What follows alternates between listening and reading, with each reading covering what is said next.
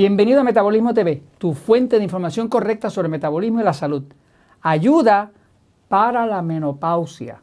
Yo soy Frank Suárez, especialista en obesidad y metabolismo. Te quiero comentar hoy sobre las ayudas que existen para el periodo de la menopausia, ese periodo de cambio de vida en la mujer ya de 40, 50 años o más, eh, que puede ser bastante traumático cuando hay problemas de tipo hormonal relacionados al cambio de vida. Voy un momentito a explicarlo.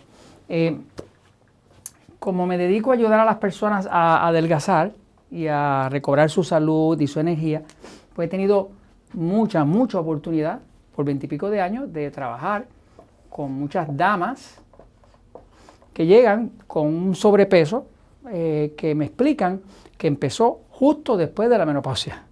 Eh, ¿Qué es la menopausia? Bueno, la menopausia se define como la desaparición de la ovulación y menstruación y capacidad reproductiva de la mujer. Pasa entre los 40 y los 50 años de edad. Eh, antes de la menopausia, la mujer pues tiene sus ovarios y en los ovarios pues produce estrógeno. El estrógeno, que es la hormona eh, femenina por excelencia, es lo que permite que la mujer cree óvulos que luego van a ser fecundados por la esperma del hombre y demás, ¿no?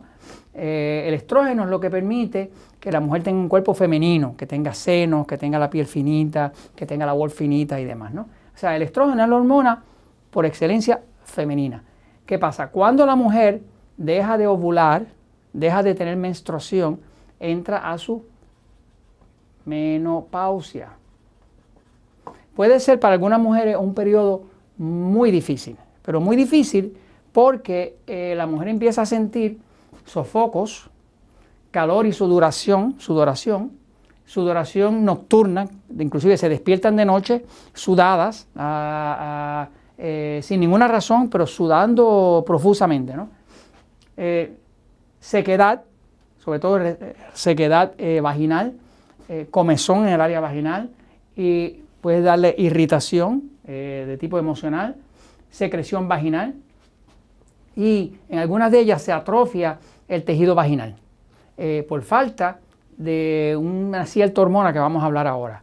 Resulta que cuando el cuerpo de la mujer en los ovarios deja de producir estrógeno, el cuerpo hace un intento desde las adrenales, todos nosotros tenemos dos riñones eh, y arriba de los riñones hay una glándula que se llama las adrenales.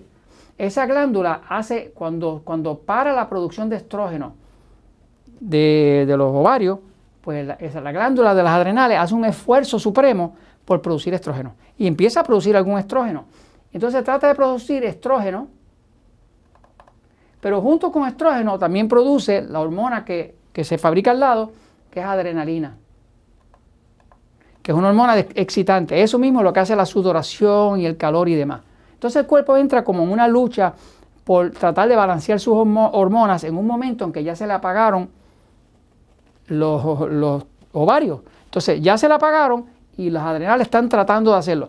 Eso causa unos cambios y subidas tan dramáticos.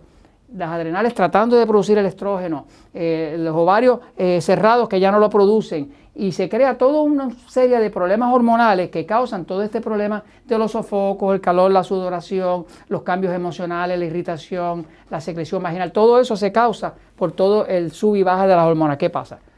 Que si la mujer tiene un poco de sobrepeso, la cosa se agrava, porque el exceso de grasa produce estrógeno. La grasa se aromatiza. Hay una enzima que se llama aromatasa que actúa sobre la grasa y la convierte en estrógeno. Quiere decir que entonces ahora tenemos una situación complicada porque el estrógeno se dejó de producir en los ovarios. La grasa está produciendo estrógeno. Las adrenales están tratando de producir estrógeno también. Eh, pero junto con ello producen la adrenalina que mantienen ese cuerpo sudoroso, caliente eh, y quitándole el sueño. Entonces tenemos ahí un verdadero desbalance. ¿Qué pasa? La única forma que yo he visto de tranquilizar esto es usar progesterona. Es una crema que se usa, eh, que, que se usa en la piel y que tiende a balancear. Y lo que hace es lo siguiente. La progesterona, la progesterona, es una hormona que la mujer producía cuando ovulaba. Mientras ella ovulaba, se producía progesterona. ¿Qué pasa? El día que dejó de ovular, porque ahora entró a la menopausia, se acabó la progesterona también. Se acabó la progesterona, pero se queda el estrógeno, porque lo tiene la grasa y lo tiene las adrenales. Eh, ahora se crea todo ese desbalance y hay como una lucha, porque resulta que la progesterona y el estrógeno siempre se mantienen en balance. Eso es como está diseñado, se mantienen en balance. Cuando la mujer todavía está en época de gestación, pues ella produce estrógeno y produce progesterona. El estrógeno lo producen los ovarios, la progesterona lo produce en la ovulación y las dos se balancean y suben y bajan, pero se mantienen dentro de un cierto rango de balance. Cuando se acaba ese balance, pues lo que hay es mucho estrógeno, esfuerzo de las adrenales combinado con adrenalina, que es bien estresante, y ninguna progesterona. Eh, solución es darle la progesterona. Quiero enseñarles dos estudios que hablan de la progesterona y sus efectos. La progesterona tiene un efecto calmante, relajante, contrario al estrógeno, porque el estrógeno lo que causa es excitación. Vea este estudio. Este estudio dice, eh, la progesterona previene los disturbios del sueño y modula eh, el GH, que es el growth hormone, la hormona de crecimiento, el TSH, que es la hormona que produce la glándula pineal para controlar la tiroides, así que la modula, y también la melatonina, la secreción de melatonina, que es la que ayuda a dormir, eh, en las mujeres eh, menopáusicas o postmenopáusicas, después de la menopausia. ¿no? Básicamente, en este estudio la conclusión fue que la progesterona, regula otras hormonas.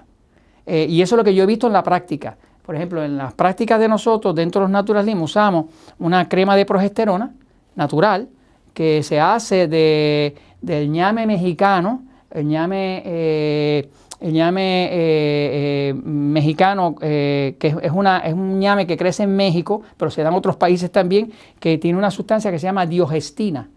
Y la diogestina es la sustancia matriz con la que se fabrica la progesterona.